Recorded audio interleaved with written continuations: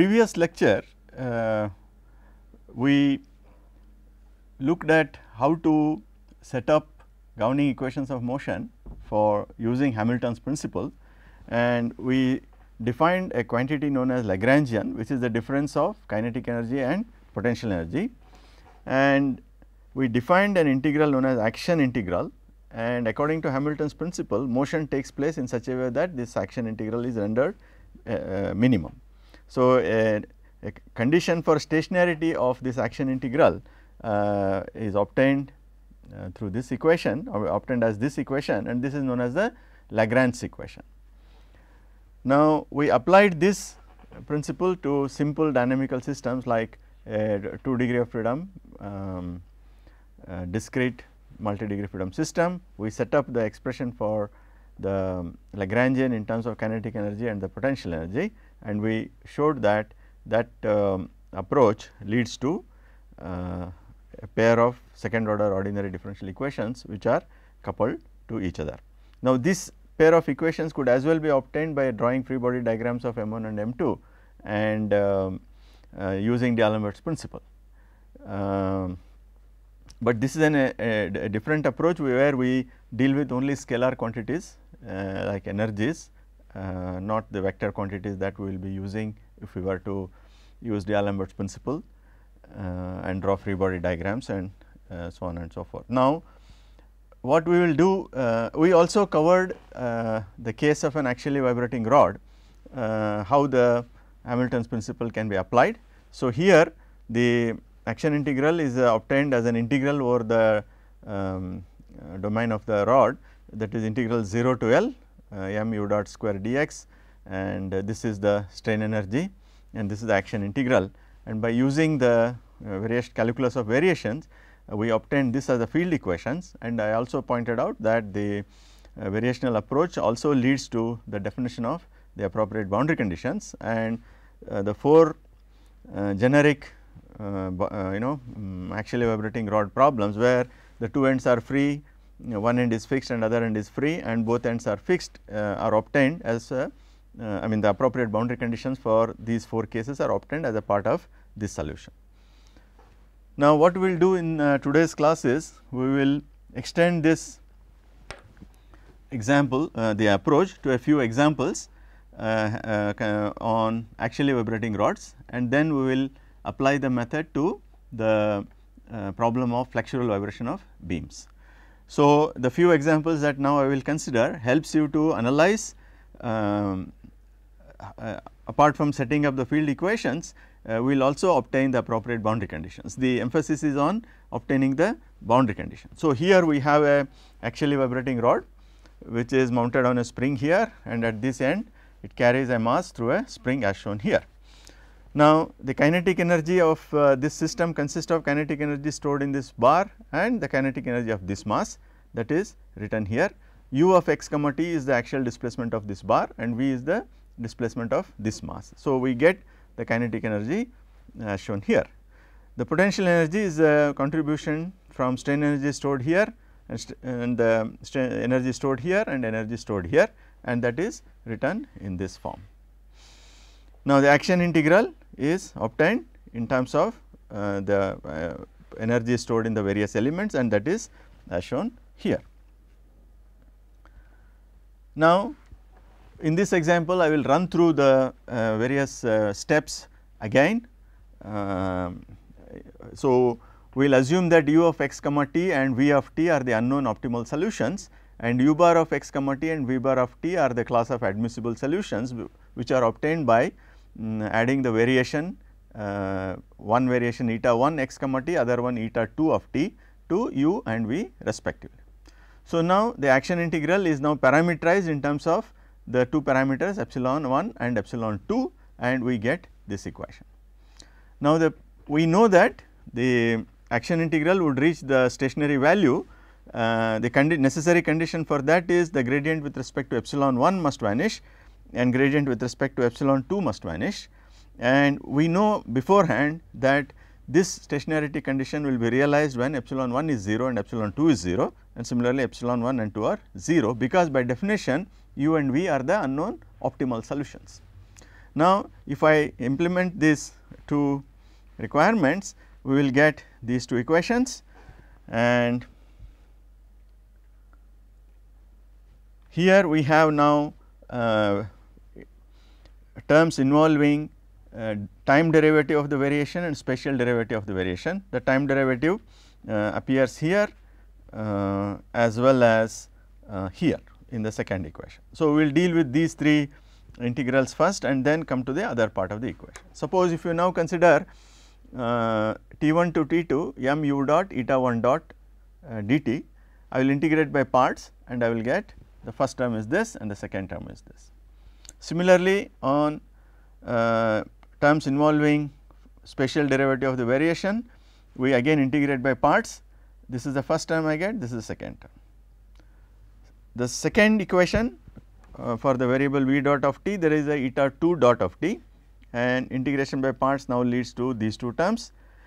Now, eta 1 x comma t and eta 2 of t are arbitrary variations and eta 2 of t is uh, um, 0 at t 1 and t 2. So,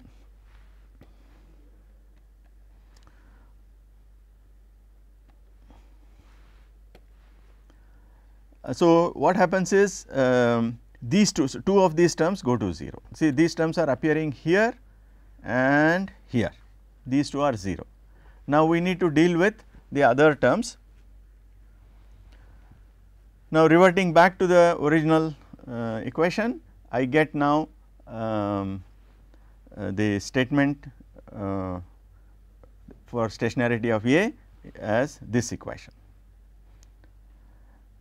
And we have to now collect terms involving eta 1 of x comma t which is done here, uh, eta 1 of 0 comma t and eta 1 L comma t and if we organize these terms we will get the field equation since eta 1 x comma t is arbitrary uh, eta 1 L comma t is arbitrary eta 1 0 comma t is arbitrary the only way this sum can be 0 for all eta is that individual terms must be 0 and using that condition I get this as the field equation and these two as the appropriate boundary conditions. So, these boundary conditions for example, at x equal to L now involve the force transferred through this spring and x equal to 0 the force transferred through k 1 as you can see here. Now, similarly for the uh, the point mass if we do this uh, uh, second if we use the second equation we get the governing equation to be this. This we have seen earlier for a simple single degree of freedom system. So, the final equations uh, these two are the field equations, these two are the boundary conditions and we have to specify the appropriate initial conditions to solve the problem. So, the point that we can take from this exercise is that the variational method helps you to correctly identify the boundary conditions along with the derivation of the field equation. So, I will run through similar a few more examples I will not uh, work out all the uh, steps in detail, but I will mention. So, this is one example where uh, a spring k connects the two ends of the rod. So, um, now strain energy will be given by strain energy stored in the bar and the energy stored in the spring uh, as um, shown here. This is the strain energy stored in the bar and this is the energy stored in the spring. This is the kinetic energy, this is only the energy stored in the bar. So, this is the Lagrangian and if we apply now the variational argument, we get the field equation to be this, this remains same as what we got earlier, but the boundary conditions now at x equal to 0 will ha will have this additional term which is the force transferred through this spring at this end and similarly at x equal to L I will get another force which is the force transferred uh, at this end through the spring.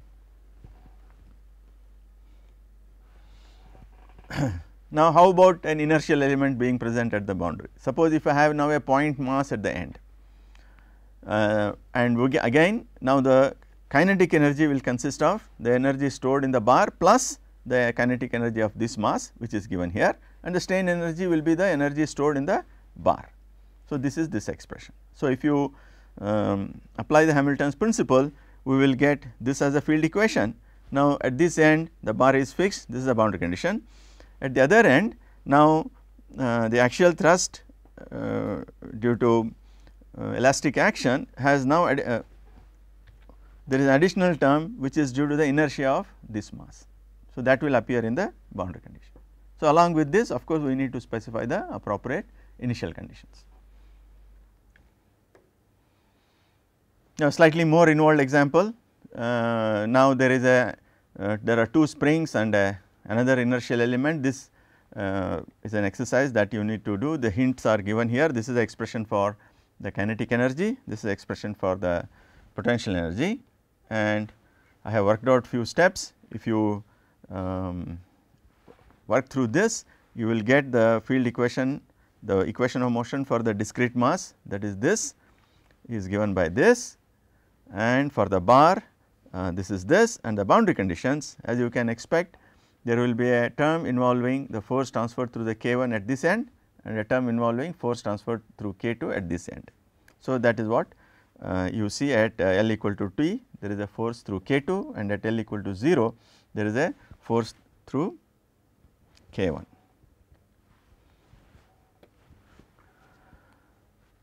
Now, this, this logic can be extended now to other structural elements like um, Euler-Bernoulli beam, plates and plane stress elements and so on and so forth. So, for purpose of illustration I will consider one example that is case of a Euler-Bernoulli beam. So, this beam has span L, flexural rigidity E i of x and mass per unit length m of x.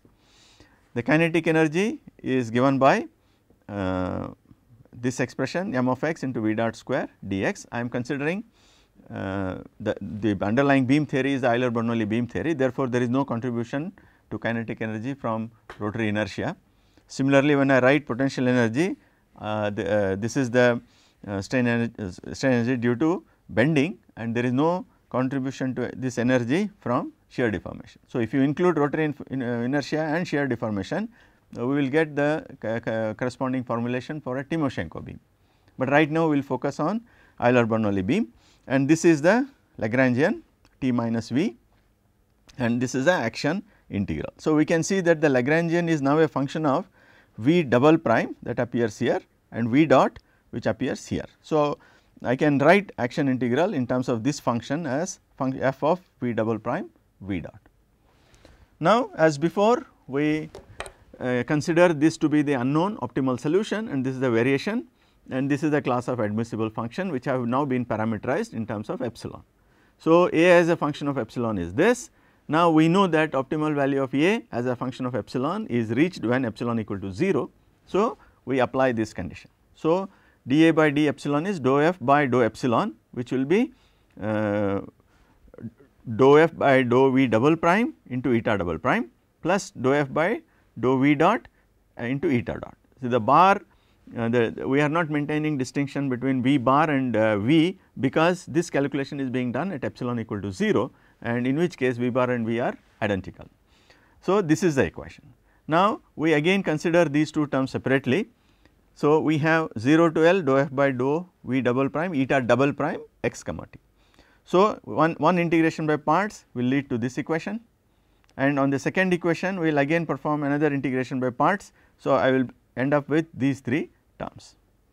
Similarly, the integrate if you consider this term and consider integration from T1 to T2 uh, we get again integration by parts we get these two. Now at t equal to T1 and T2 the variation is 0. So this term drops off. So we have to still interpret the other terms which will still remain uh, till we complete their interpretation. So we carry them uh, further in our um, derivation and we get this is now the equation uh, which is a condition for stationarity of A. Now, we will again uh, uh, you know use the arguments uh, that variation is arbitrary. Uh, therefore, the only way this term can be equal to 0 is when each of these terms are individually equal to 0. So, uh, since eta of x comma t is arbitrary the term inside this brace must be equal to 0 I get this and similarly term inside the bracket must be 0 and term inside this bracket must be equal. So, now this is a, a still that f is remaining uh, uh, the notation for f is f is this. So, if you now um, insert all these calculation uh, you know dou f by dou, dou v double prime dou f by dou v dot etcetera in this we will get the field equation which is the well known Euler Bernoulli beam equation. This is the field equation. Now, the boundary conditions are uh, to be derived from these conditions. Now, at free end when displacements are not specified uh, we will not be able to assign any value to the variation therefore, the term that multiplies that must be equal to 0. So, at the uh, at a free end neither displacement can be specified nor slope can be specified. Uh, therefore, uh, for this term to be equal to 0 it is natural that this multiplier must be equal to 0.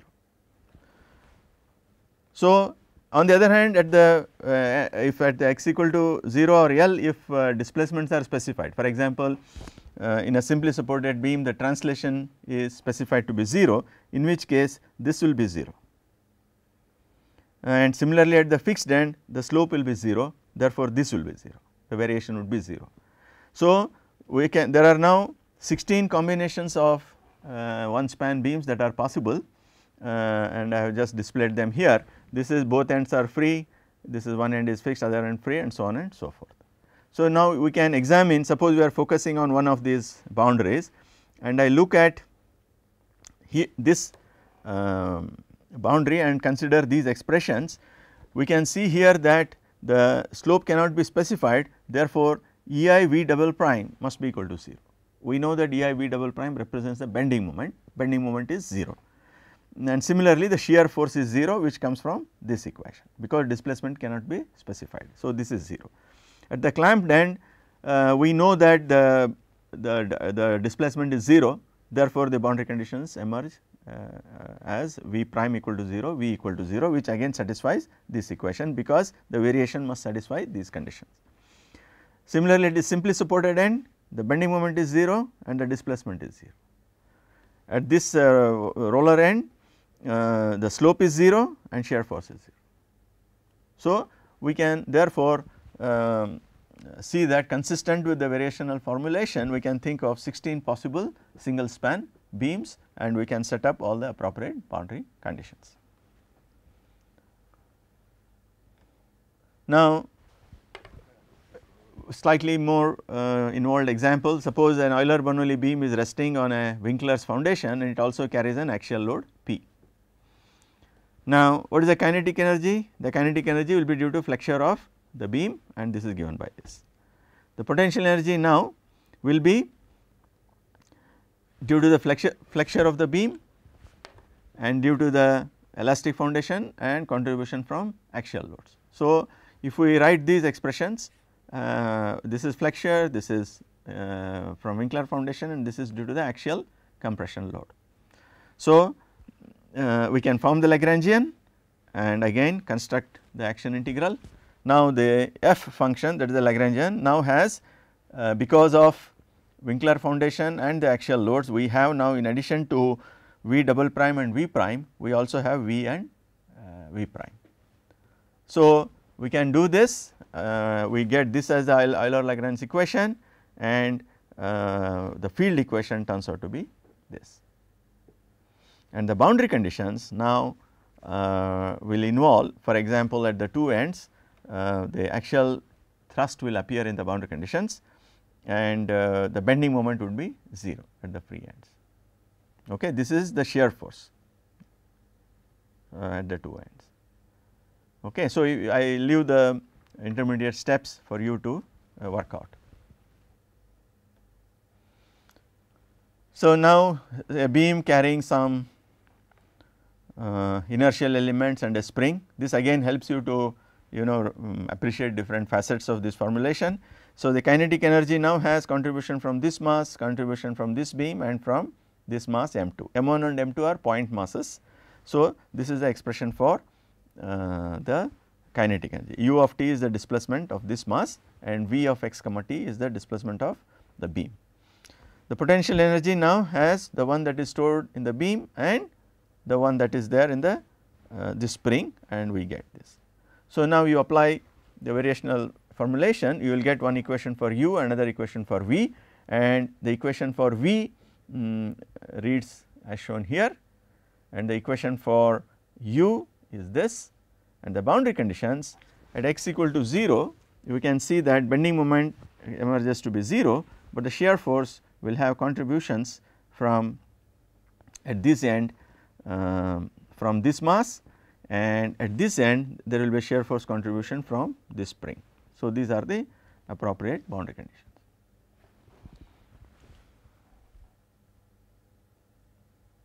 Now, how about a beam with a overhang? So, there are now three places where we need to worry about the boundary conditions. So, what I do is I call displacement field in this portion as V 1 and in this portion as V 2 and we will assume that E i and m are uh, functions of x as uh, x varies from 0 to L 1 plus L 2. So, the kinetic energy now has contribution from this segment of the beam 0 to L 1 and L 1 to L 1 plus L 2. Similarly, the strain energy flexure in this part plus flexure in this part. The action integral is now therefore, T minus V is this expression. So, now I will take V 1 to be a class of admissible parameterized admissible uh, set of functions is formed by for both V 1 and V 2 as shown here. Okay. Now, so this is the action integral in terms of epsilon and 1 and epsilon 2 and these are the conditions for stationarity of this. So, if we run through this calculation uh, you will have to do this differentiation and the corresponding integration by parts and if you carry out these calculations uh, we get the field equations uh, for x varying from 0 to L 1 and x varying from L 1 to L 1 plus L 2 separately and they are shown here. And now the boundary conditions you will have to consider what happens here, what happens here and what happens here. So, uh, the required um, conditions of compatibility and uh, equilibrium of forces etc., is automatically satisfied in this formulation and we get um, uh, I mean I, you can go through these steps these are uh, simple uh, manipulations and we get um, the boundary conditions uh, as shown here. So, this is at x equal to 0, uh, bending moment would be 0 and displacement would be 0. Here the bending moment would be 0, shear force would be 0. Here what happens? So, at x equal to 0 these are the boundary conditions at the uh, x equal to L 1 plus L 2 that is the right hand free end this is uh, the bending moment and shear force are 0. At the intermediate point this is the equilibrium of uh, moments and uh, this is compatibility and V 1 and V 2 must be equal to 0 right. So, we have now 8 boundary conditions and 2 fourth order equations and along with that we should specify the required uh, 4 initial conditions. So, this gives a formulation for a uh, beam with overhang. So, uh, I suggest two exercises uh, you can consider a propped cantilever beam with a hinge in between. You now formulate the pro, uh, you know the equation of motion and ob obtain the appropriate boundary conditions. The other uh, example is a beam that is spinning about this y axis. Okay. So, uh, you have to correctly write the expression for kinetic energy and uh, the energy due to bending and derive the appropriate field equations and boundary conditions. now, at this stage it is useful to quickly review the solution of equation of motion for discrete multi-degree freedom systems. So, this is a generic form of equation of motion uh, for linear systems time invariant linear systems mx double dot plus cx dot plus kx equal to f of t x is displacement vector m is mass matrix c is damping matrix k is the stiffness matrix and these are the initial conditions. Now, what I will I do not intend to do this review uh, as a part of this uh, course because these re, uh, this review is already available in another NPTEL course which I have taught and this is the website where this is available and uh, if you go to lecture 13 slides 3 to 50 and lecture 14 slides 2 to 24 you will get this review. So, I will assume that when you reach this point uh, you will go to these lectures and uh, familiarize yourself with the contents of this lecture before proceeding further as a part of this course. Similarly, uh, in the same course that I mentioned in lectures 15 and 16 there is a review of solution of equation of motion for continuous multi-degree freedom systems specifically in the context of an Euler-Bernoulli uh, damped Euler-Bernoulli beam and all the steps involved are again uh, completely outlined here. Uh, they run over two um, lectures, uh, two lectures lecture 17, 15 and 16 and these are the slide numbers.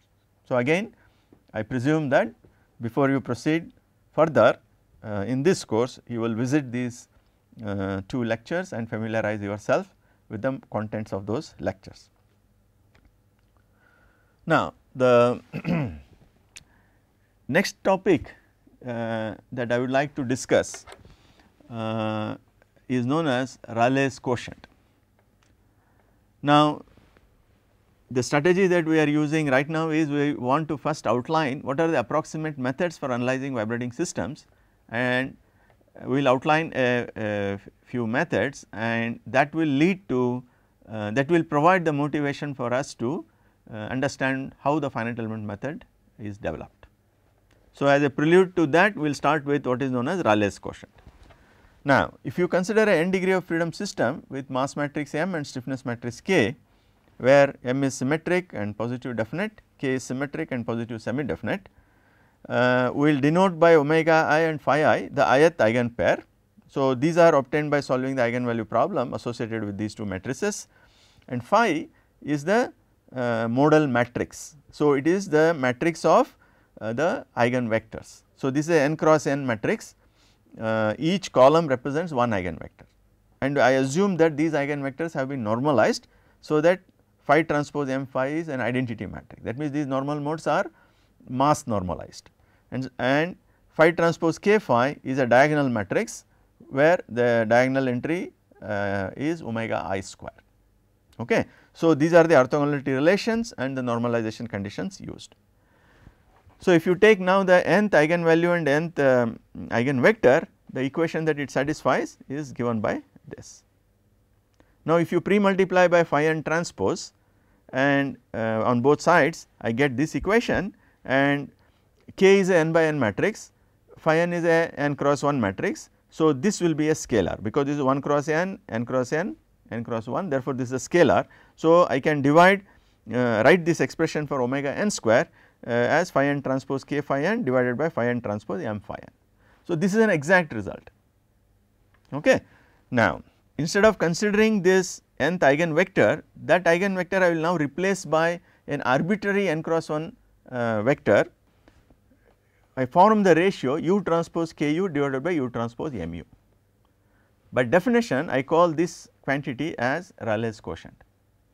So, clearly uh, we denote it as R of u, u is a vector and uh,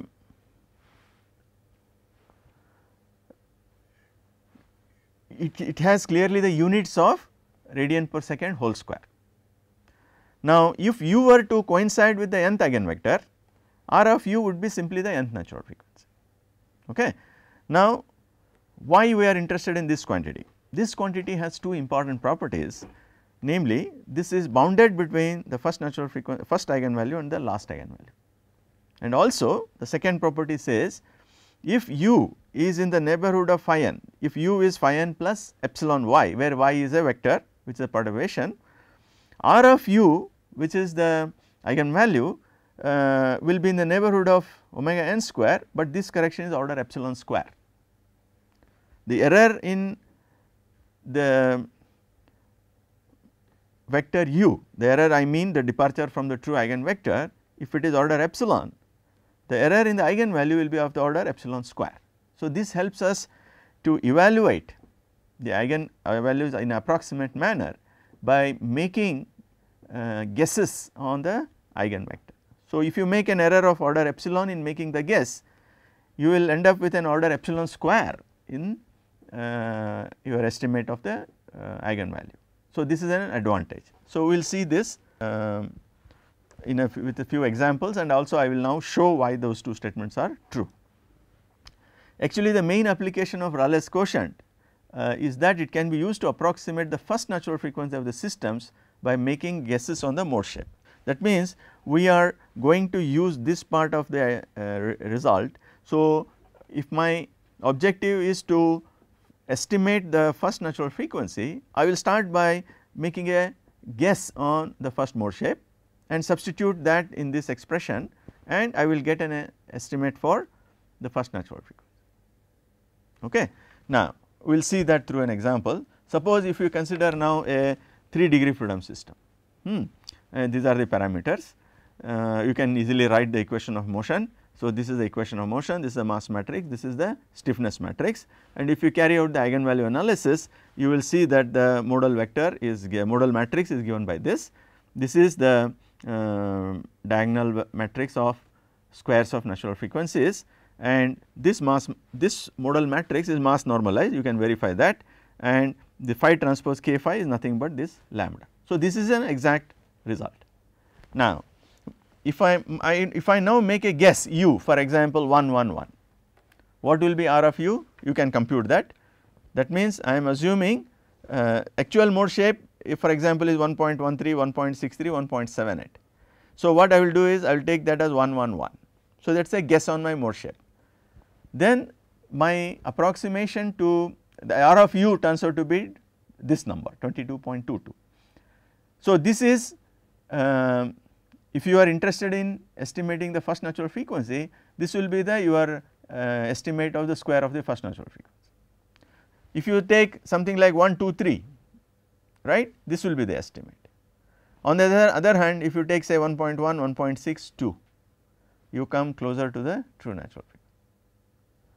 Now, if you take 1 minus 1 minus 1 this will be a bad guess on the mode shape if you are familiar with how mode shapes behave this will not be a good guess on the first mode shape therefore, this is depicted in the uh, quotient. But no matter what you are doing uh, we see that Rayleigh's quotient is bounded between the first natural frequency square and this last natural frequency square in all these examples.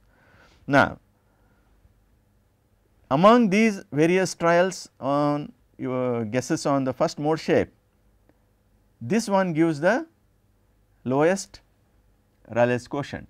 So, if you actually in this case I know 17.25 is the answer, but if you are applying this method uh, in a uh, uh, under a situation where you do not know the exact answer, you should accept this as the best possible approximation to the square of the natural frequency because of this bounding property. R of u can at best be only equal to the first natural frequency square, it cannot drop below that. So, because of that bounding property the lowest among this is the best possible uh, estimate for the first eigenvalue. Now, why this bounding occurs?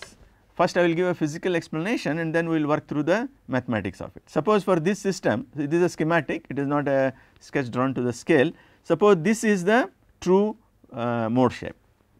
Now, if I make this as a initial guess, to maintain this as a normal mode for the system, I should supply additional forces which bring back this point here, the brings back this point here, uh, this point to this, you will be supplying additional forces to the system and that does additional work and that contributes to the potential energy. So, therefore, the natural frequencies go up. Okay. So, to maintain the approximate mode shape, we need to apply additional forces and this leads to increase in the potential energy of the system which in turn increases the natural frequency. That explains why the um, quotient provides the bound. Now, we can quickly argue out um, why these results are true. So, I will start with the first um, uh, result that R of u is bounded between first natural frequency and the highest natural frequency. How do I show that? Now, u is a vector uh, n cross 1 vector therefore, it can be expanded in terms of these true mode shapes. So, I can write u as a linear combination of these mode shapes where alpha n takes value from 1 to capital N. Now, using this R of u can be written in this form. Now, phi since phi n's are true mode shapes and they are orthogonal with respect to k and m okay, and they are mass normalized, uh, if you expand this out all the this will become a double summation, but all the cross terms will go to 0 and I will be left with this in the denominator. Similarly, in the numerator the diagonal terms will have omega n square multiplying alpha n square. So, this will be the Rayleigh's quotient in terms of the unknown true natural frequencies and these unknown alpha n's. Now, I will manipulate this what I will do is I will uh, expand this, this is and pull out omega 1 square outside. So, first term will be alpha 1 square as it is, omega n square has gone outside and this is uh, other terms are this and the denominator remains the same. Now, uh, there is an ordering of natural frequencies omega 1 is less than or equal to omega 2 less than or equal to omega 3 and so on and so forth that is how the labels on eigenvalues appear. So, consequently we can see that these uh, terms inside the bracket here will be um, greater than or equal to 1. So, consequently we see that this inequality holds. Okay. Now, to get the other bound what I will do is now I will pull out the last frequency outside and divide by uh, omega n square all other terms. So, this will be this multiplier will be 1. Now, by the same logic now uh, all these numbers inside this uh, bracket will be uh, less than or equal to 1. So, consequently this bound emerges. So, we get this uh, that uh, result that Rayleigh's quotient is bounded between first eigenvalue and the last eigenvalue. Now, we can work through this if the u that we are selecting is orthogonal to the first S modes.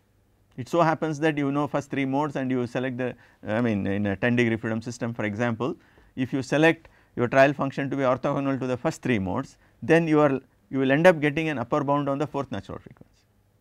So, that is the uh, the third natural frequency that is this result can be shown using similar arguments I leave this as an exercise for you to complete. The second result that uh, I stated has this notation order epsilon square.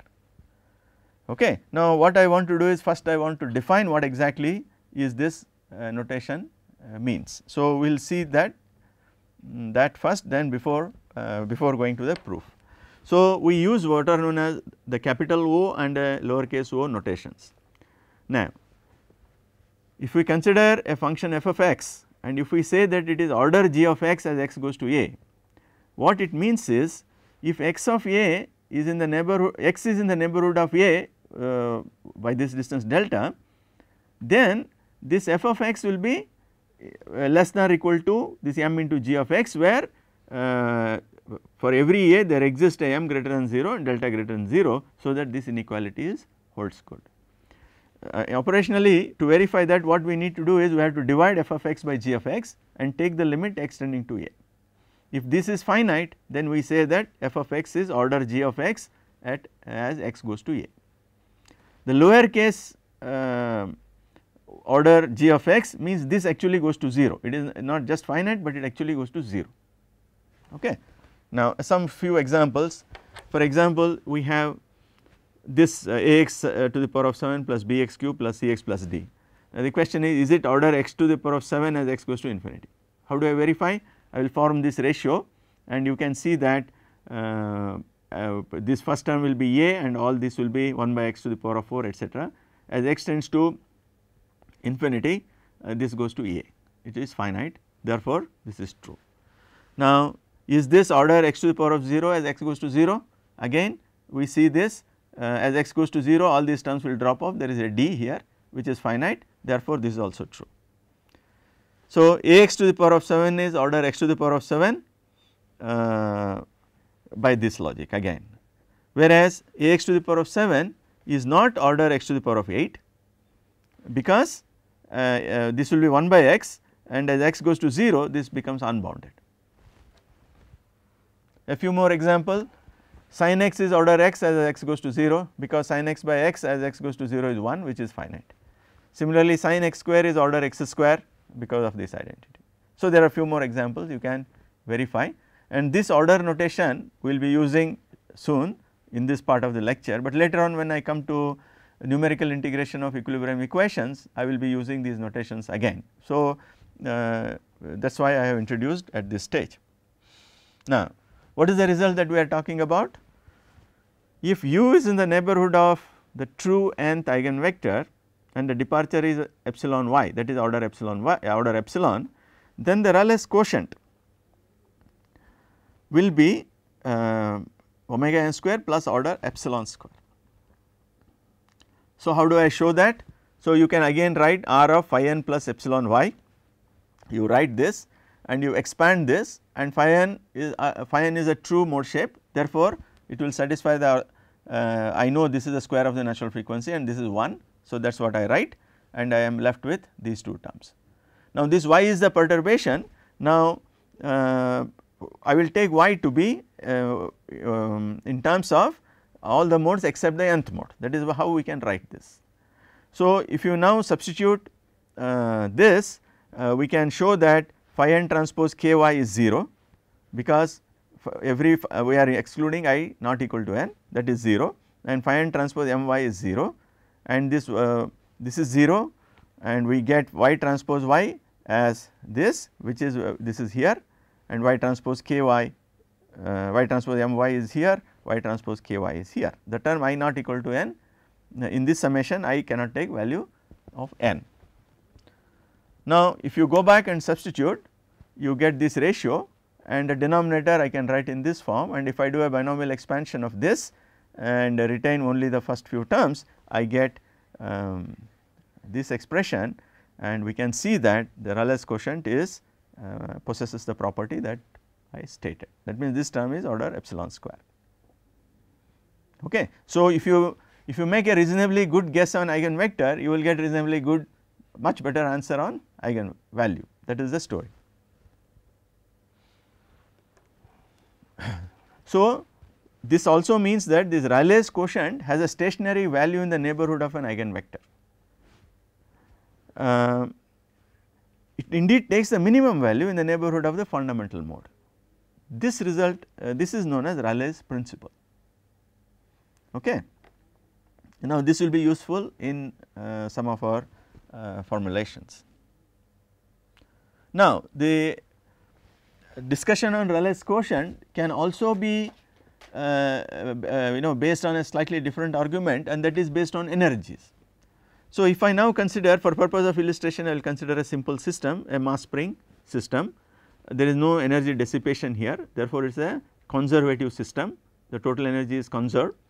So, this is the expression for kinetic energy this is the expression for potential energy. If I add these two energies I get the total energy which must be a constant because there is no energy dissipation in the system. Now, in normal mode oscillations uh, we are interested in harmonic oscillations. So, in a multi degree freedom system we say that a system is executing normal mode oscillations if all points on the structure are vibrating harmonically at the same frequency. So, in, in this case it is a, a very trivial case. So, if, if you if it is executing harmonic motions u of t will be given by this. Now, let us substitute this into the expression for kinetic energy I get kinetic energy to be m a square omega square by 2 sin omega t uh, sin square uh, omega t and this is cos square omega t minus alpha. Now, total energy is sum of this if you add now this sin square and cos square will add up and I get this is a constant that I am talking here. Now, this would this would automatically means that when kinetic energy re reaches its maximum value the potential energy must be 0 and similarly when potential potential energy reaches uh, its maximum value uh, the kinetic energy will be 0. So, if we write that you can see here the expression for kinetic energy has sin square omega t minus alpha the potential energy has cos square omega t minus alpha. The maximum value that function sin square omega t minus alpha can take is 1. Similarly, cos square omega t minus alpha the maximum value that this function can take is also 1. So, I get the maximum kinetic energy to be this, maximum potential energy to be this and since they are equal I get the uh, expression for the natural frequency. So, I have I have been able to write this uh, expression for the natural frequency without writing the equation of motion. I am simply using the fact that I am looking for harmonic oscillations, harmonic oscillatory responses because that is how we define the normal mode oscillations.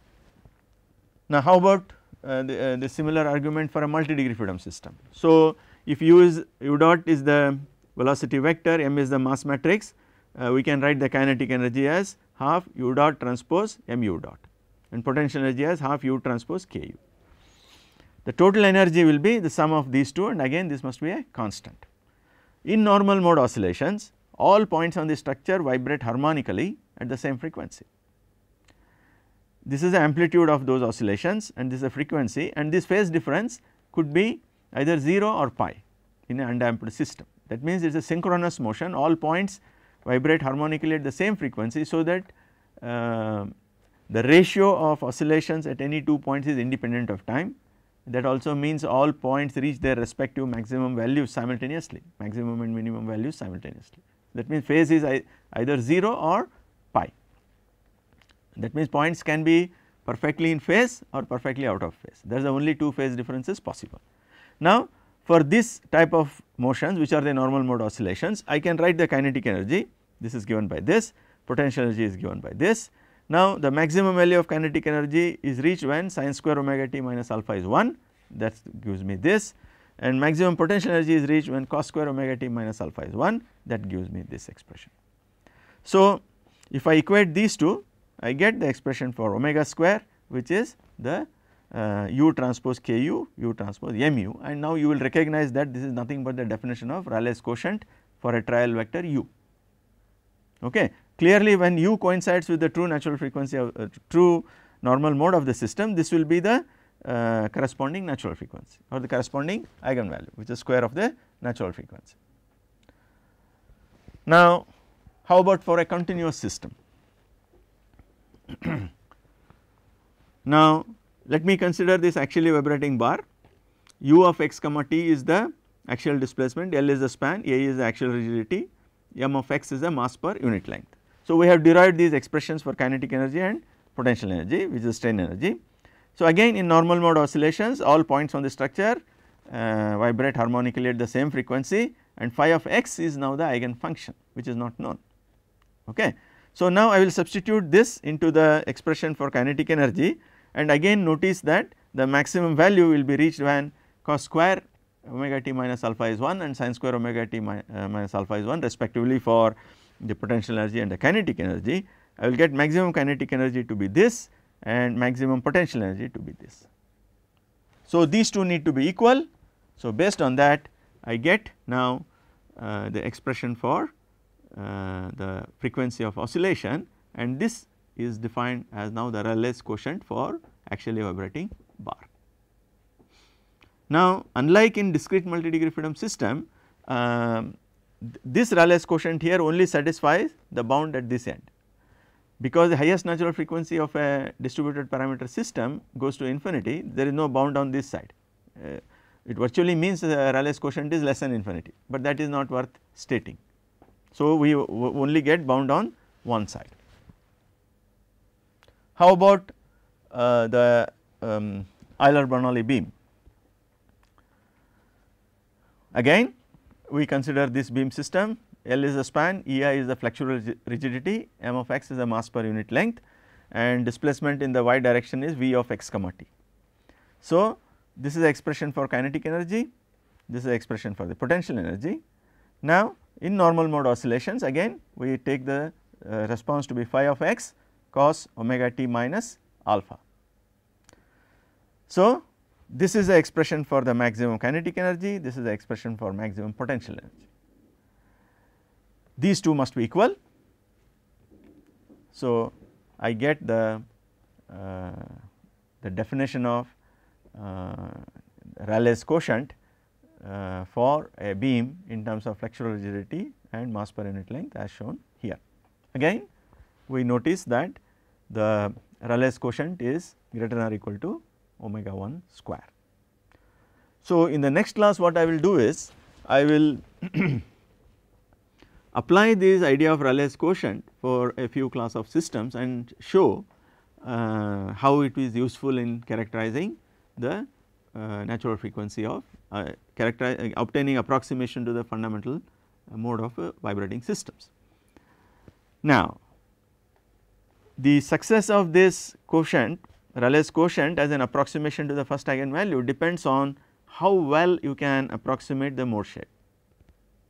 So, it is not always that you can make intelligent guesses right. So, you need to have a systematic procedure to uh, lower the Rayleigh's quotient. Now, how do we lower the Rayleigh's quotient? So, to be able to do that we should introduce certain undetermined parameters in my definition of the trial function. This is the assumed mode shape. So, if I assume phi of x as a series, if I do expand this uh, unknown trial function in a set of say orthogonal functions with unknown undetermined coefficients, then I can select those undetermined coefficients so that the Rayleigh's quotient is minimized right. So, that gives us a systematic way to lower the Rayleigh's quotient and therefore obtain better approximation to the first natural frequency.